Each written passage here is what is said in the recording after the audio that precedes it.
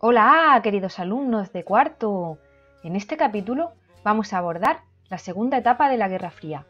La segunda etapa de la Guerra Fría va desde la coexistencia pacífica a la crisis de los misiles, es decir, desde 1953 a 1962.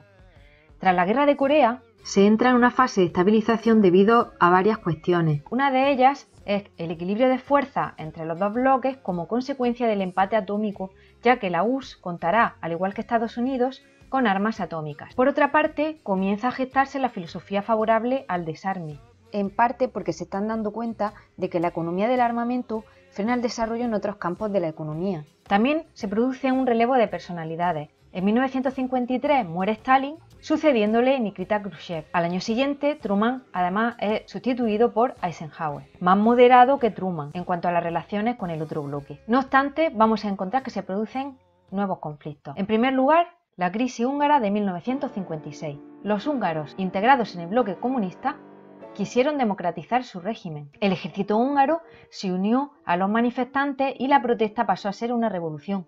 Entonces Hungría pidió salir del Pacto de Varsovia, y proclamarse país neutral, pero lo impidieron los tanques soviéticos. Occidente no ayudó a los húngaros. A continuación vamos a estudiar la crisis de Oriente Medio. En 1956 Estados Unidos niega a Egipto, a su presidente Nasser, créditos para financiar la presa de Asuán. El objetivo de la política americana era presionar al gobierno egipcio para que rompiera su neutralidad entre los dos bloques a favor de Estados Unidos. Nasser solicitó entonces la ayuda de la Unión Soviética y además nacionalizó el canal de Suez. El canal de Suez había sido administrado hasta entonces por una compañía en manos de accionistas franceses e ingleses mayoritariamente. Francia, Gran Bretaña e Israel fueron los países más afectados por la nacionalización, por lo que se pronunciaron en contra y celebraron una conferencia en Londres sin la asistencia de Egipto. Deciden usar la fuerza contra Egipto. La ONU va a intervenir entonces adoptando las siguientes resoluciones. Reconocer la soberanía egipcia sobre el canal, reconocer la libertad de tránsito por el canal y establecer un procedimiento de arbitraje entre los países afectados de manera que todos queden compensados, o sea que, todo el mundo quede contento. Francia y Gran Bretaña no aceptan las medidas de la ONU y se preparan para intervenir militarmente, o sea, otra guerra. Israel se les adelanta y el 29 de octubre invade Egipto. Enseguida intervienen ingleses y franceses. Los judíos ocupan el Sinaí y las tropas anglo-francesas el canal. Interviene entonces la Unión Soviética amenazando con el apoyo militar a Egipto e incluso con la utilización de la fuerza nuclear si es preciso. Otra vez se ponen al borde del abismo. A su vez, los Estados Unidos anuncian que también intervendrán, pero pronto cambian de actitud por otra de disuasión para que los ejércitos se retiren de la zona. Como consecuencia cesan las hostilidades y se llega al equilibrio. Las potencias europeas se retiran y la nacionalización se consolida. Esta crisis tiene una repercusión importante en el contexto internacional ya que supone una gran pérdida de prestigio para las potencias europeas, quedando totalmente demostrado el papel rector de las dos superpotencias, que son Estados Unidos y la URSS. Por otra parte, se pone de relieve una cierta incipiente fuerza del tercer mundo. En el aspecto del enfrentamiento árabe-israelí, es esta la única crisis en que los árabes quedan en una situación de ventaja frente a sus contrincantes. Por cierto, el conflicto árabe-israelí lo estudiaremos largo y tendido más adelante. Otro acontecimiento importante de esta etapa fue la construcción del muro de Berlín, que tuvo lugar el 13 de agosto de 1961. Y es que tras la constitución de las dos Alemanias, Berlín había quedado dividido en dos sectores, el occidental, que pertenecía a la República Federal de Alemania, y el oriental, que era la capital de la República Democrática Alemana. Entre ambas zonas existían grandes diferencias. En el sector capitalista, la gente gozaba de un mejor nivel de vida y de un sistema de libertades. Entonces, mucha gente que vivía en el sector oriental se trasladaba al sector occidental. Para evitar esto, se construyó un muro que rodeaba toda la parte de Berlín correspondiente al bloque occidental. Porque Berlín, si os fijáis en el mapa, estaba situado en el bloque soviético y por tanto estaba rodeado por este. La URSS quería que el Berlín Oriental quedara unido a la RDA o convertido en zona internacional bajo el control de la ONU, pero Estados Unidos se negó. En respuesta, en la noche del 12 al 13 de agosto de 1961, los soviéticos levantaron un muro para cerrar el acceso del Berlín este al Berlín oeste. El telón de acero se hacía en este momento visible, palpable, era un muro. Se hacía realidad. Argumentaron este hecho esgrimiendo que debían cerrar la entrada a espías y saboteadores desde la zona occidental a la zona comunista. Se pretendía cerrar la salida de ciudadanos del este hacia la zona occidental. Este muro estuvo levantado durante 30 años. Su destrucción en 1989 fue un momento histórico que simbolizó el principio del fin de la Guerra Fría. Las siguientes diapositivas están relacionadas con la Stasi o el Ministerio de Seguridad del Estado. Era un órgano de inteligencia de la RDA que surgió en 1950 y se disolvió en 1990, meses después de la caída del muro de Berlín. Fue la máquina más sofisticada de vigilancia y represión puesta en marcha por una dictadura en la historia. Sobre este tema os recomiendo una película que se llama La vida de los otros, es buenísima. A continuación vamos a ver un discurso que se llama Ich bin ein Berliner, quiere decir en alemán yo soy berlinés, y fue pronunciado por Kennedy en una visita a Berlín. Este discurso fue pronunciado por Kennedy el 26 de junio de 1963 en Berlín Occidental, con motivo del decimoquinto aniversario del bloqueo de Berlín impuesto por la Unión Soviética, con el consecuente levantamiento del muro de Berlín en agosto de 1961 indicando la solidaridad hacia los habitantes de Berlín. Se trata de uno de los discursos más famosos de la historia y de los más famosos de la vida de Kennedy, que fue poco después asesinado, desgraciadamente. Aquí la enseño este verano en el muro de Berlín. Hoy en día lo encontraréis adornado por graffiti, algunos muy chulos. Berlín quedaba como una isla encerrada en la parte del bloque socialista. Con los años, esto se convirtió en un problema para las autoridades comunistas, no solo porque los servicios secretos de Estados Unidos y Reino Unido usaban la ciudad como base de espionaje, sino también porque más de dos millones y medio de personas huyeron de la parte este a la oeste desde 1949 hasta 1961. Muchos cruzaban atraídos por las mayores oportunidades del lado occidental. Para evitarlo, las autoridades comunistas ordenaron que se construyera un muro que dividiera la ciudad. Y así, la noche del 13 de agosto de 1961 empezó la Operación Rosa, que en pocas horas y para sorpresa de muchos levantó el muro de Berlín.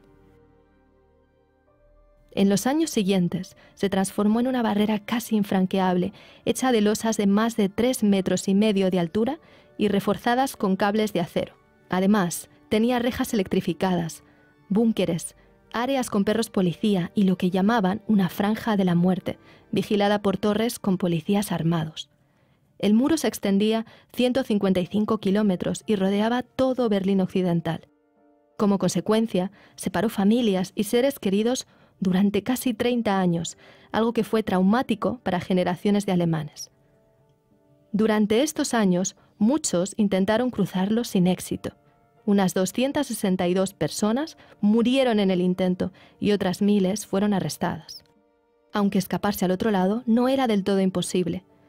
Mientras existió el muro, más de 5.000 berlineses del este consiguieron franquearlo a través de túneles, escondidos en autos o usando ingeniosos métodos como cruzar en tirolesa. Pero a finales de los 80, la situación estaba destinada a cambiar radicalmente los gobiernos comunistas eran cada vez más corruptos e ineficientes. La Unión Soviética estaba viviendo una profunda crisis económica. Esta crisis estaba agravada por la costosa carrera armamentista con Estados Unidos y por la guerra en Afganistán.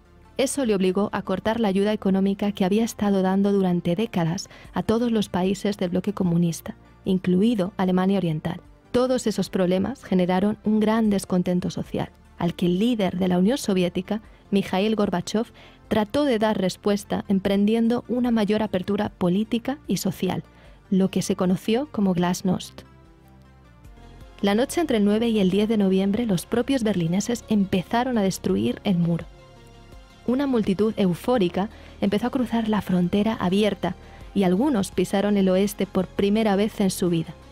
Del otro lado, cientos de alemanes occidentales los esperaban y celebraban el momento histórico familias y amigos que habían vivido separados pudieron encontrarse después de tres décadas. Todas esas impactantes imágenes dieron la vuelta al mundo.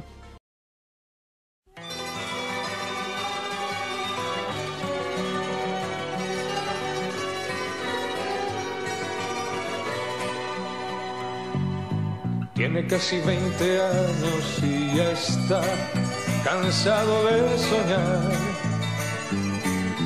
pero tras la frontera está su hogar, su mundo y su ciudad. Piensa que la alambrada solo es un trozo de metal, algo que nunca puede detener sus ansias de volar. Y antes de despedirme de la historia del muro de Berlín, quería hablar brevemente de Peter Flechta, que es este joven que con 18 años intentó huir a la parte occidental de Berlín con un amigo suyo. Su amigo sí llegó al destino, pero él fue herido en la cadera y, quedó desangrado, murió desangrado poco después porque no lo socorrió nadie. Cayó de la zona este y no lo, no lo socorrió nadie. Nino Bravo compuso esta canción que estamos escuchando dedicada a esta primera víctima del muro. En Berlín se le han dedicado muchos memoriales, como por ejemplo esa cruz, la escultura que hemos visto anteriormente y esta columna donde pone Él solo quería la libertad, Er wollte. También es digna de mención esta foto que es la más famosa de la Guerra Fría. En ella podemos ver a Schumann, un soldado fronterizo que estaba saltando la alambrada de púa durante la construcción del muro de Berlín para huir desde la Alemania oriental hacia la Alemania occidental. Este chico tuvo más suerte que el anterior que hemos visto, sí sobrevivió. Y fue sorprendido por la cámara de un fotógrafo muy bueno que se llamaba Peter Leiding, era un fotógrafo alemán y fue muy conocido por esta fotografía que ganó incluso algún premio. Recibió el premio a la mejor fotografía de 1961 del Overseas Press Club. A continuación vamos a hablar de la crisis cubana. En USA, es decir, Estados Unidos, la reelección de Eisenhower elimina el ala derecha de los republicanos, violentos anticomunistas. En 1959 se produce una nueva crisis debido a la Revolución cubana. Cuba desde la guerra de 1898, que recordaréis, pero que fue cuando España pierde sus últimas colonias, que fueron Cuba, Puerto Rico y Filipinas, una guerra que España mantiene con Estados Unidos, a causa del hundimiento de un barco hundimiento que era un accidente, no había sido causado por España, pero que Estados Unidos lo utiliza como excusa, como casus belli para la guerra, para declararle la guerra a España, Cuba desde este momento había pasado a depender de Estados Unidos. Y en 1952 se establecía un gobierno cubano, pero bajo el patrocinio de los estadounidenses. Cuba en realidad era una colonia de Estados Unidos. Frente a esta situación se alzó un movimiento revolucionario liderado por Fidel Castro, un liberal que desembocó en socialista.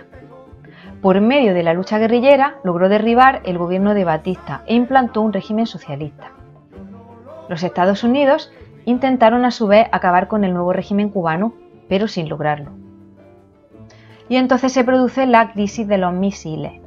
En el año 61, Estados Unidos propicia la invasión de Cuba por exiliados anticastristas entrenados en Estados Unidos.